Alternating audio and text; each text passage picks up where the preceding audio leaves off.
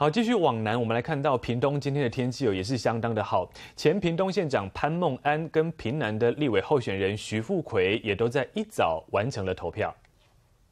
今天呢，啊，这个投票的心情是跟以往不一样，因为刚好是我卸任下来一年啊，一年一整年哈，